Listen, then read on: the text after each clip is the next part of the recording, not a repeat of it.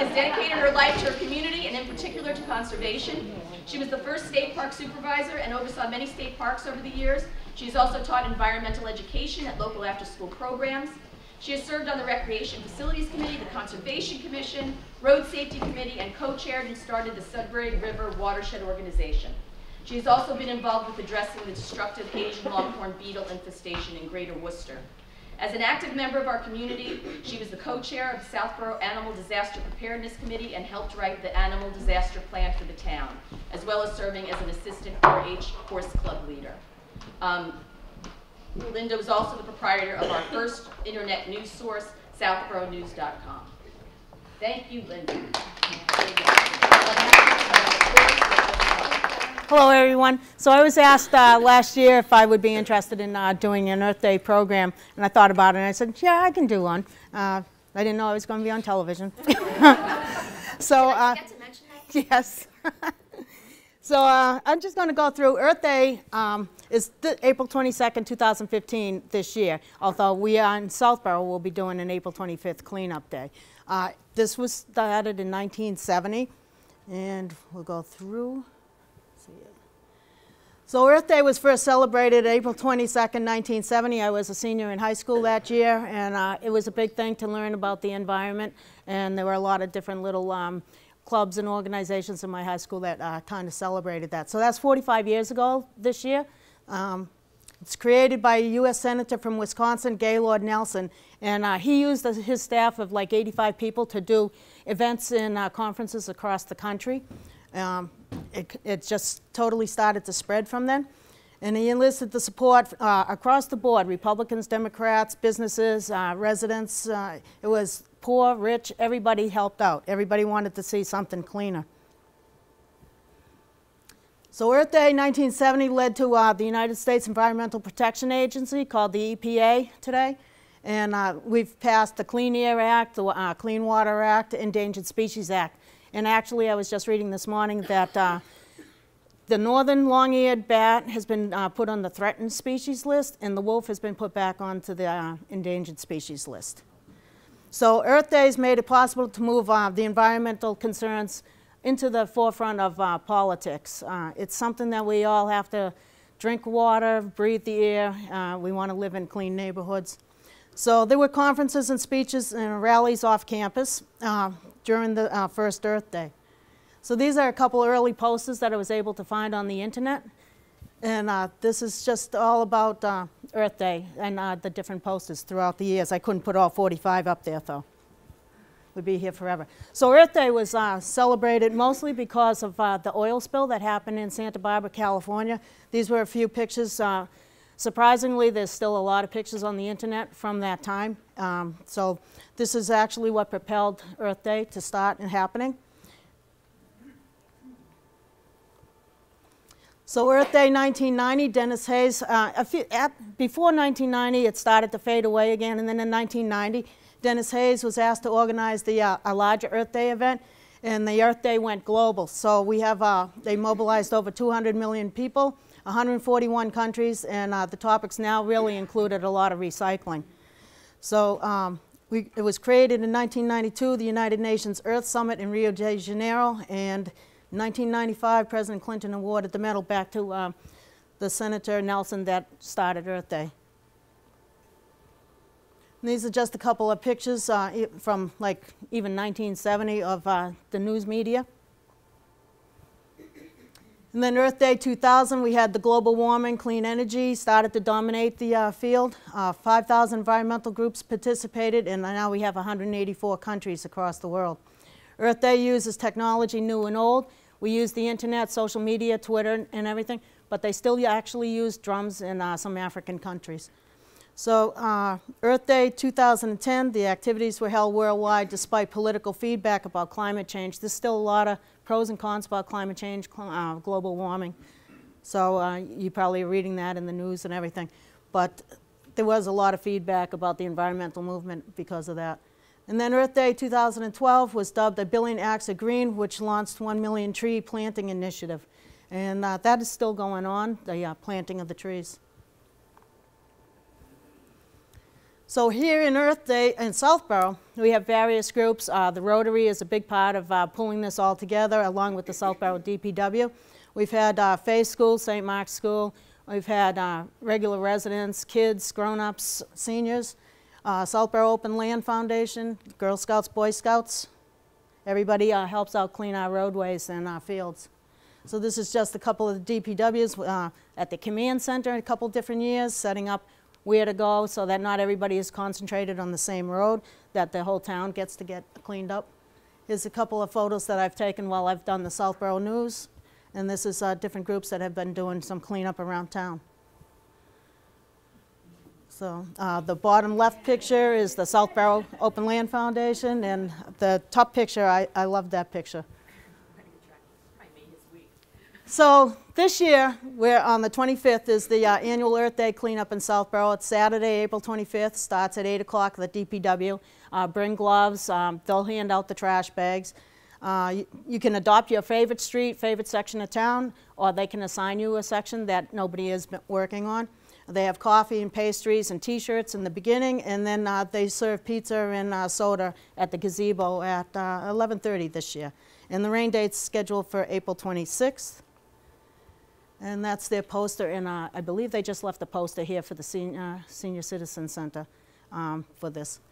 So now I can, that was the end of that one. Uh, I was just asked real quick to see if I could fill in for the person from Algonquin that was supposed to be here. So I kind of was wondering, and I talked with Nancy about a couple of different things, and decided one of the biggest concerns in April is uh, the month for invasive species. So I figured I'd do a little bit on uh, invasive species. Um, mostly geared to Massachusetts, but it's a big concern across the world. Uh, we have global travel. We have uh, a lot of people moving around and everything. So a lot of species are coming in. We, um, I work for the USDA. I can actually work at any of the uh, ports like Miami Port or Boston if I wanted to or go out to San Diego. Um, I have a lot of friends in uh, the USDA that do do this work. And what they do is, like, if you tra travel to the Caribbean and you come back with some fruit, they're going to take it away from you because we don't want orange greening or anything else coming into the country. Uh, we're trying to protect our crops here in the U.S. All right, what's an invasive? Uh, a lot of us have probably seen purple loosestrife. We say that's real pretty. That's an invasive for one. So it's a non-native to the ecosystem, which we're considering under consideration, which if we had, say, a swamp in the middle of Southborough, we wouldn't really want to see Phragmites or purple loosestrife in that. You would rather see our native cattails in there. Uh, we have specific wildlife to our area. They eat specific plants. You bring in a foreign plant, their wildlife um, bushes get moved out. So a lot of the swamps where you see Phragmites and uh, purple loosestrife, a lot of our animals have lost their plant uh, food of uh, cattails. What do Phragmites look like? Uh, if you go up Route 85 to uh, Hopkinton, the swamp on your right, uh, as you head up to the hill to Hopkinton, is all Phragmites there in the beginning. That they grow up to about 12, 14 feet. Grasses, like yes, yeah. No, it, it, may be native in other states, yeah. but not on, in the, the New England area. So yeah, its introduction causes are as likely to cause uh, economic or environmental harm or harm to human health. There's another thing is that I work with the Asian longhorn beetle in Worcester, Mass, and that's been costing millions of dollars to eradicate the uh, Asian longhorn beetle in the uh, states where we have found it. And it's, actual, uh, it's a major wood uh, destructive uh, beetle. Um, it actually goes after maples, and New England is considered 75% maple trees. And if you go take Vermont, New Hampshire, and Maine, they depend on the tourist industry for the foliage season. If you get the beetle up into those woods, uh, there wouldn't be good foliage at all. So their economic loss would be based on the maple syrup industry and the tourism industry. So this is just a, a, little bit, this is what it's called. It's the framework incorporates the invasive species system approach. Uh, this is what the USDA uh, calls this. So we have prevention, which is uh, public outreach. With, uh, uh, I'll give you examples from the Asian longhorn beetle because uh, I worked there. I've been working there seven years this November. Uh, they found it in 2008, and I started in November 2008. So what we do a lot is we do public outreach. We have uh, flyers. We go to the sporting uh, events. We go to Cub Scouts, Girl Scouts. We've done garden clubs. We've done DPW, we've done all kinds of uh, different outreach programs. And we have compliance training uh, where we bring in people that are going to do tree work within the regulated area. They have to come in for the training. And that's considered uh, part of the public outreach prevention too, so that they don't move the firewood that might be infested. So detection is uh, the surveys and the service calls. Um, I survey, I've been on snowshoes from the last week of January to the first week of April. Uh, even with the snow on the ground, we still have to go out and we have to look for uh, the uh, egg sites, the exit holes that the beetle may leave. There's no adult beetles out right now, but they do leave marks on the trees where we know where there's an infested tree. Control and management response, unfortunately with the Asian longhorn beetle, if it's in your tree, we have to take that tree and that tree is uh, chopped down and chipped up into a one by one inch um, chip. So in that way the, the larva that's in that tree cannot live its life cycle. And then restoration, rehabilitation, replanting, etc. Um, if it's in a residential area, we come in, we take your tree. That tree is then, uh, the stump that's left is stumped out, it's ground down to like six inches below the ground. We, uh, the contractor comes in, puts the soil down, replants grass. Then one of our state foresters comes out and talks to you about what kind of tree that you want to replant. So that basically covers what would happen with all four steps here. So this is uh, really a lot of reading, but I just wanted to go over a couple things. Uh, the estimate that invasive plants already infest more than a million, 100 million acres in uh, the U.S. A million acres are lost to invasive plants each year worldwide. Uh, natural habitats on public lands are being lost to invasive species at the rate of 4,600 acres a day. Uh, it contributes to the decline of 42% of our federally listed threatened and endangered species. Right now, uh, I am also, because we take trees in Worcester, they have uh, given me um, a, a, duty to work with U.S. Uh, Fish and Wildlife and our other counterparts down in uh, Riverdale, Maryland, about the northern long-eared uh, bat.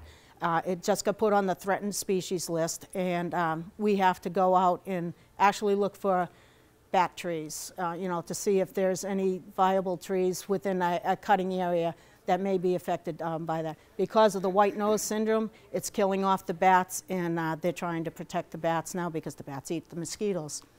So, in Massachusetts, state agencies spent over half a million dollars in 2001 on the control of non-indigenous aquatic plants. If you go over to Sudbury to the Wayside Grist Mill, you'll see uh, a lot of uh, aquatic nuisance weeds over there, and uh, sometimes they do harvesting, other times they do hand picking, but uh, it's, it's a lot of work. And right now, I believe Hopkinton may be uh, looking into Lake Maspenock and uh, having some chemicals put in to treat the mil Eurasian milfoil. So from 1906 to 1991, just 79 non-indigenous species caused documented losses of $97 billion in harmful effects. And purple loosestrife now occurs in 48 states and costs 45 million per year for the control and forage uh, losses. In the United States, a total 100 million is invested annually in aquatic weed control. So of the 235 woody plants known to invade natural areas in the United States, 85% were introduced primarily for ornamental and landscape purposes. Um, a lot of the, like, I put the Phragmites grass up here. A lot of people use that in their gardens and everything, and then it gets loose. In Worcester, a lot of people use bamboo. Bamboo is on the state's invasive species list, and I'll tell you, that's really tough to walk through. But some people's yards, it's just gone over into their neighbors' yards. The neighbors complain about it when we're on their property. We can't do anything about it you know, we can't recommend anything to them, but it's just, it, it goes wild. so, uh, it is pretty, but it is very invasive. So, you know, invading non-indigenous species in the United States cause major environmental damage, public health problems, and cost the nation more than 122 billion per year. And plants are responsible for 36.6 billion of that figure. So this, I'm not going to read this off, but I can uh, make a copy of this and give it to you if you want. There's 66 uh, species in Massachusetts that are considered invasive, likely invasive, or most likely invasive. So I just kind of like put them up there, but it's, I know it's hard to read and I know it's a long list. Uh, and I also have um, paperwork with the resources that I used to put this together. So if anybody wanted to take that, they could take that. And it's got Mass DAR, USDA, U.S. Forest Service, and a bunch of other different places, which would list these. Okay, great. So, and these are diseases of plants and trees. Uh, we have the potato wart would be over on this uh, right-hand side. Up above that is the oak leaf, um, oak sudden death. The nematode uh, affects the potatoes. Out in uh, Oregon and Washington State, the USDA has a uh, company of people that uh, work in the fields, making sure that there's no nematodes. Um, the golden nematode is one that has occurred, I believe, up in Maine here, and it makes your potatoes like non-sellable. Um, we have the chrysanthemum white rust in the center, and then we have the giant African land snail, which they have found in Florida. And that land snail, if you have uh, a cement, a stucco house, we'll eat your house. Can you talk a little bit about the boxwood blight? We talked about that. Yeah, the, the boxwood blight, um, I think that on the very beginning uh, slide, I had a picture of what that looked like. Okay, So um, but it's here, isn't it? it was found in a, I think a nursery, and it was also found in Connecticut. So, but, We know, it's a blight on It's- boxwood. right. And a lot of, I mean, how many, I, I- I've got So- tons of boxwoods. I mean, they're, they're a Yeah. evergreen planting Yeah. that's the basis of many gardens and it's, And one of the things is, like, if you have that plant, I believe I may have a, a slide about that on how to prevent it. You get rid of that plant, you can notify somebody, they can come and inspect the rest of the plants, make sure you don't have it. Uh, they have quarantined some nurseries for uh, some, I think the uh, chrysanthemum and white rust, I think it was quarantined in a whole nursery last year. So, just be careful where you buy your boxwoods. Yeah. Don't buy them if you don't have to now. Propagate your own, or get Yep. it from someone you know. So these are just some of the invasive insects. These lists are from Massachusetts, and you can find them on the Massachusetts uh, Department of Agricultural Resources uh, list. And uh, like I said, I have those links on a page. But we have the Asian longhorn beetle. Um, I didn't put a picture up of that because I have a couple extra slides because I work with that. Uh, the marmorated stink bug is up on the top right. We have the emerald ash borer is this pretty green uh, insect, and it came into Massachusetts last year. And firewood statewide is now, you cannot move it uh, amongst the county. You can not take it out of state. New Hampshire has um, regulations about bringing firewood up into the campgrounds so that you can't take it into New Hampshire at all. Uh, it's very destructive to the ash trees. We'll probably lose almost all our ash trees with the emerald ash borer. So, and then we have a couple of the uh, moths, um, and the caterpillar is a, also a moth. The, um, we have a bark beetle shown here on the bottom right. Um, light brown apple moth is the moth that's in the uh, middle. So, so there's a lot of different moths that have come in, and uh, winter moth is one, and I'm sure that everybody around uh, Thanksgiving and to Christmas have seen them flying around your lights, outdoor lights, or in the. Uh, I mean, sometimes I think Southborough will look like snowfall uh, just in your car lights. Aquatic invasive plants, um, we have quite a few of them around here. If anybody goes to like Lake Whitehall, you'd see a lot of the Eurasian milfoil over there. Um, we have the Phragmites again, uh, the curly leafed. We have the Asian clam that's come in, and uh, a lot of the zebra mussel clam and the Asian clam. They have when they come into your waterways, they start to clog up a lot of the pipes and a lot of the uh, different. Uh, they'll get on your boat and everything. So they have a screening in uh, lakes and ponds uh, for Massachusetts, where they have somebody come out and they uh, screen the boats at the boat ranches, make uh, launches, making sure that you are taking care of uh, your boat and not transporting it to a different lake. Zebra mussel is found in a lake out in uh, around Pittsfield, and it came in on a boat from New York. So we have the purple loosestrife, we have uh, hydrilla, fanwort, uh, best hyacinth, swollen bladder, and yellow floating heart. Those are all on the state's aquatic uh, invasive list. Carol, I think you have a question. The Latin name? Calther, Calthus, C-A-L-T-H-U-S, C-A-L-T-H-U-S. A-S. Yeah, Yeah. And actually, I took the Latin names off of here because it took up too much space on the slides. But if you go to MDAR, uh, the Mass Department of Agricultural Resources, they will list the uh, Latin names on all of these uh, species. So this is the Asian longhorn beetle. This is what I work with. Uh, it was introduced to the United States in 1996. The first place was in Chicago. And uh, it probably came in on pallets because the larva can still stay on green wood if the pallets were cut in like China because this is, they came from Asia to begin with, China specifically. And the larva gets into the uh, wood. If they cut, because we have so much commodity changing around the world, we use pallets and dunnage to uh, ship a lot of material in. So the pallets were probably green treated uh, poplar trees or something like that that still had the larva in it. And well, the larva can live in that. That's why when I talked about the chipping of the tree, the chip has to go to one inch by one inch uh, for the larva not to survive. But if you have a board six feet by uh, four inches or something. That's enough for, in green lumber for the uh, beetle to live, the larva, and then emerge as an adult and move on. So it's been found in Ohio, Massachusetts, New York, New Jersey, Illinois. Uh, it attacks ash, birch, elm. It's mostly uh, nice trees that color in the fall. Uh, golden rain tree, hackberry, horse chestnut, katsura, London plane tree, maple, mimosa, mountain ash, poplar, and willow. Uh, active eradication programs right now are still uh, going on in Bethel, Ohio. I went and did uh, what's called a TDY, temporary duty program, out in Ohio. Uh, I was out there for um, a month in 2011 uh, working out there. They have an infestation almost as big as Massachusetts.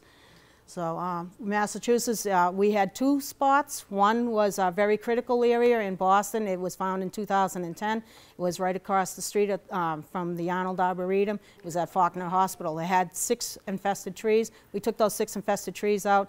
They've done survey in there for three years. We just declared eradication this past summer in uh, Boston. We are still working in Worcester, though. We're on our second cycle survey. Uh, we've uh, done over 5 million trees in the original survey. So the um, adult beetle can lay between 30 and 90 eggs, one egg each site. It just climbs up the tree. They'll spend same generations uh, on the tree. For, um, the larva eats its way into the heartwood. Uh, they emerge via tunneling out. That's what makes the tree very destructive afterwards. It's lost its structure because it gets so many tunnel. If you just even take 45 egg sites that hatch out, then those, uh, you have some females from there. You can see how rapidly that tree would decline. So uh, the adults uh, emerge the end of June and into November. They forage on the leaves, mate, and then they start the whole recycling uh, again. So in Worcester, the facts are we're at 110 square miles uh, on the regulatory area. It includes all of Worcester, West Boylston, Boylston, Shrewsbury, and parts of Holden and Auburn. So uh, we've removed 34,600 trees. That's a lot of trees, but when you figure that we have already surveyed nearly 5 million trees in our first survey and almost a million on our second survey, that's almost a negative impact to stop this beetle. But if you were to lose all the trees on your yard, it's a major impact. If you were in the Greendale area, Worcester, it's a major impact if you were in the south side of Worcester or out in the western part of Worcester or you were up in uh, some area in Boylston where we have not done a cut, it's not a big deal until you drive by that area that's been cut. So if anybody drives out Route 140 from 290 going up to like Mount Wachusett, if, when you get to the reservoir, if you look onto your left, you'll see that the forest is kind of open. That was what we call a uh, all-host removal. We took all, all of the maple trees out of that area. So um, we have also an additional 1,491.93 acreage removals. On some of our full host removals, like what I just talked about, it's kind of hard to count each single tree in a full host, so they do it by acre. So, and uh, so we've done the 4,976,346 trees surveyed in our first cycle, which we just completed uh, December of last year. Uh, that meant that we checked every single host tree in the area that I just talked to you in that 110 square miles. And now we've started our second cycle again, and uh, as of last week, we're up to 850,368 trees surveyed. Is there any obligation to, if they cut down, you know, whole yards of trees, for them to replace them? In um, the DCR lands, the Department of Conservation and Recreation, we don't replant in a lot of those properties. If we take out, if, if you had a wood lot, we would give you some trees, but it wouldn't be a tree for a tree. And then if you were a resident and you didn't even lose a tree, but you were within 500 feet of an infested tree, you get to, uh, another tree replanted if you requested it. Because So. Burncoat Street in Worcester is, you wouldn't recognize it. Okay, so um, to back up a little bit on this, is that uh, there's three different replanting programs going on in Worcester. We don't do the street trees, the city does the street trees, uh, the city forestry department. Uh, They want to um, ensure that their trees are planted in proper areas. Uh, It's the right place for the right tree is what they uh, go by. And the other is the Worcester Tree Initiative, and uh, that's um, like a public and uh, private combination. Uh, it was started by, um, I think, believe McGovern and um, the mayor of Worcester at that time. And uh, that they go on and they carry, and they hire uh, kids during the summer to water the trees and everything that they replant. And they have replanting programs and show residents how to uh, take care of the trees. And then there's our program, where if you're impacted by the loss of the trees, then you call us, uh, we'll- well, actually, we make contact with you uh, to see if you want a tree replanted. And the forester will come out and there's a whole booklet of the type of trees. We don't plant maple trees or any of our host trees, so it's like sweet gum or oak or, you know, something different that wouldn't be affected by the beetle. So these are just a couple of pictures of uh, the beetle here in Worcester. Um, The top right was from the mother tree. You can see all the damage to the tree that was done on that. And then uh, down below, you can see this is when we have our contractors come and take out the trees. A lot of them use the cranes. Uh, In 2008, we had 16 cranes working up there because uh, we did a major cut right in that Burncoat area, uh, Deal. Uh, So we had 16 cranes, plus we had the ice storm that fell too. So it actually looked like some logging camp up in Maine. We had so many logging trucks. So uh, ALB eradication program, that's a live beetle that uh, we threw on one of our T-shirts um, to take a picture of because it just had, Oh, so the white one is just the graphic. the white, the white one is the graphic and the one crossing over it is the real one. Wow. So, and then uh, on the left, we have a female that's uh, digging in to um, make her egg site, and then she'll lay an egg there. And then uh, over here on the bottom left, we've actually cut out one of the egg sites. It looks like a piece of rice in there, but that's the larva of the first instar. And then that, from there, they're just going to go into the heartwood of the tree. We have climbers. Uh, we've used uh, the smoke jumpers come out sometimes on temporary duty. We have our own USDA climbers and the Department of Conservation Recreation climbers. So this is, um, unfortunately, on the top is Monterey Street in Worcester, what it looked like before we cut it. And on the bottom is after we cut it, and everybody in their yards, uh, almost all the trees were cut, except for the ones that you can see halfway down on the right. He had an infest only sign, so all we did was take out the infest only. But most everybody else had signed on for a full host. We don't have that program that much this time unless we find a really impacted uh, neighborhood. But in the beginning, everybody that had an infested tree had the right to either take, have us take all of the trees out that were host, or the, only the ones that were infested. And the only one on that street was the ones where the tall trees are. And this one on the left is now gone too, because when the smoke jumpers came out, they found way up on the left-hand branch that there were egg sites and exit holes, so we had to finally take that one down too. But that has, I I should have thrown in one of um, the replanting. This has all been replanted. The trees are already about 12 to 15 feet high. And uh, a lot of the people in their backyards have uh, picked nice trees like cherries or arborvitaes or sweet gum. So they have trees there now. Uh, This is uh, also some damage up on the top right. This was at, uh, I don't know if anybody's been reading the newspaper. We uh, have taken out a lot of trees in Green Hill Park because we found an infestation there too.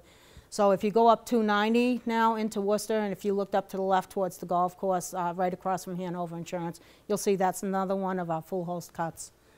So, and this is just a, a crew that's surveying in the woods. Um, you know, we run into poison ivy, we run into uh, bees' nests and everything else. We've run into snakes, uh, spiders. I got bit by something last year because you throw the, uh, the DBH tape around the tree and you measure every single tree. We just don't look at the tree. It has to be measured and then put into a PDA.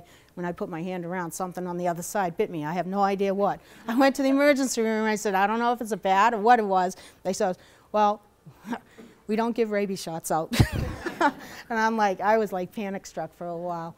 So I don't know what bit me. Still have a hand, so we assume you're okay. Oh, yeah, I'm fine now.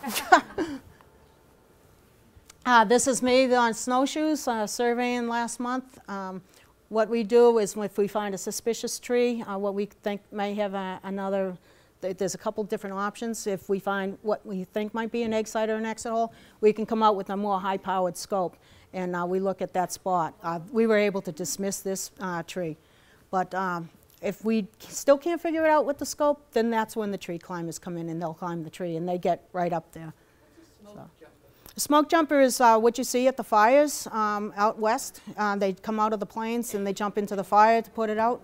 So when they're not busy doing that, uh, they're looking for other jobs, and a lot of times we'll hire them. it's a good question though, because you know, for me, I, I, I've been in the environmental field for so many times. I just use acronyms and everything else. So, so this is uh, how to prevent uh, invasives. Uh, identify and control and eradicate invasive plant species where possible. Uh, So if you find something in your yard that uh, is invasive and you don't want it or you don't want it to spread, it's best to destroy it. Uh, report invasive species to um, NHESP, and I forgot what that meant. Yep, using official field forms or to the Invasive Plant Atlas of New England. And then uh, you educate others and report anyone illegally selling, growing, or distributing uh, invasive plants. We do have Mass Department of Agricultural Resources goes to all these big box top stores like uh, Home Depot and Lowe's, and uh, they have to check and uh, visually check those trees and put a tag on them. Plant only native species, uh, non-native species that have been uh, researched and proven to be non-aggressive in terms of naturalizing into natural areas of minimally managed habitats. And don't move firewood. That's a big thing for us with the uh, Asian longhorn beetle. Don't move firewood. And the emerald ash borer, the same thing. The more you move firewood, the faster it can uh, move to other places. So, and uh, many species of wildlife, amphibians, birds cannot be uh, imported into Massachusetts without proper permits. There's a, a lot of people think that you can keep some of these wild animals that they find, uh, these baby animals. Uh, it's best to leave the baby animals where they are. Um, don't bring anything. A lot of people will go up to like New Hampshire or Maine and they'll catch some kind of fish and then bring it back to their fish pond. It might not be uh, fitting for this area if it gets out into the wild. Uh, a lot of those, those walking fish, I don't think we have any yet, I hope not, but it has gotten into uh, some of the uh, lakes and ponds down around Maryland, Pennsylvania area, and it's from people just releasing them. So, and then there's just some more, which uh, these links are also on that paper that I have. And that's it. So. So if anybody wants, has any questions, I can answer them. Uh, I do have some paperwork with the links, they're on the table over there. I also brought in cards uh, of what we look for on the beetle, and uh, it actually has the uh, size hole, uh, so you can pick that up. And if anybody has grandkids or kids, uh, there's also tattoos of the beetle. Temporary, I guess. Yes, they are temporary. Yeah, Does okay. anybody have any questions? Years ago, there was some kind of a uh, invasive bug that wasn't, I can't come up with the name of. Western conifer seed bug? I think so. It comes on the inside of the house a lot, around the windowsills? Yeah, it was all over Worcester.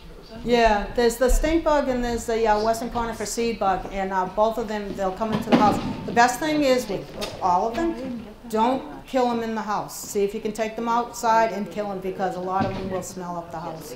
So you don't want to do that.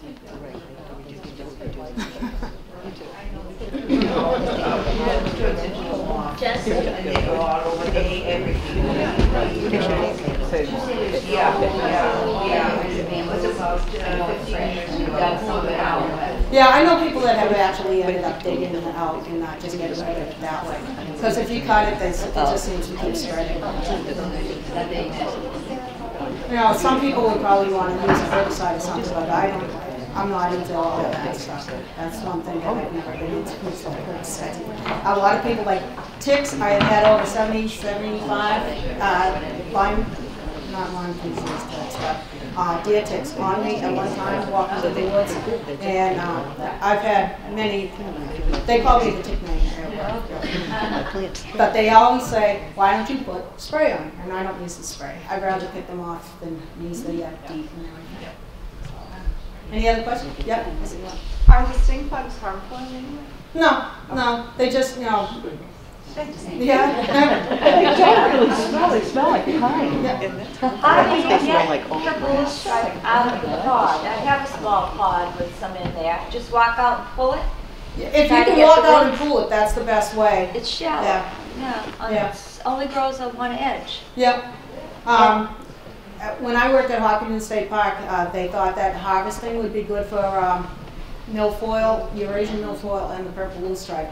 And what it did is it cut it down, but the Eurasian milfoil, you can have it even a tiny little bit and it can be dry on the shore, the minute it gets wet and it comes back in, it can reroot itself. And they, um, when you, if you cut the loosestrife, a lot of the seeds will just blow away and reroot. So it's, So try to get it early. yeah, before it's gonna flower and seed. And what about the Asian longhorn beetle? Do we have those in Southborough? No, no. Right now, they're uh, still only concentrated in uh, the Worcester, Worcester, Boylston, West Boylston, Shrewsbury, and Potter Holden and Auburn. Yep. Um, Bamboo, uh, I'm one of those lucky neighbors who, my former neighbor planted bamboo, Yeah. their yard's overgrown, mine is starting to get infested. And is there a remedy for bamboo other than just cutting? I'm not sure, you, you may be best to call uh, the Mass Department of Agricultural Resources uh, and report it and see uh, if they can give you any recommendations on that. What's the Mass Department? Yeah, um, I have paperwork over on that table, and it's got links to uh, all of the places that I've talked about. Okay, great, thank. So, And then you can give them a phone call. And there's a reporting uh, page on that. If you think you've seen an invasive insect pest or uh, a plant or something, you can actually report it on the Mass Department of Agricultural Resources. Yeah, I know that the people who just bought the land next door, Yeah. the property next door, are trying to get rid of it, but they're just cutting it down and it keeps coming out. Yep. So you, you, cutting it down is not the answer, I know that. No other questions? Thanks for listening to me. Thank you, Linda.